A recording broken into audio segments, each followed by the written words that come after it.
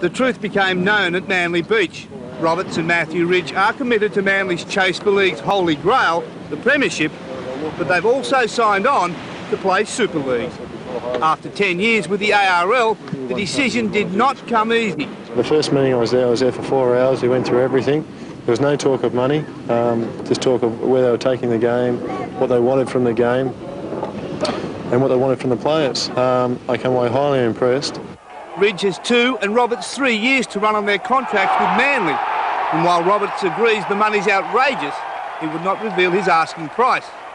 The salary cap, though, played an important part.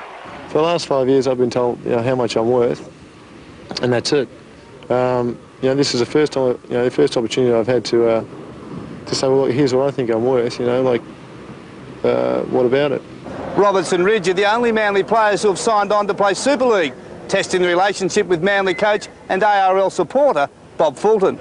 The big prop is upset. Fulton revealed parts of a private conversation between the two. You would like to think what's said inside those rooms stays in those rooms. Um, unfortunately, Bozo might have said something in the heat of the moment.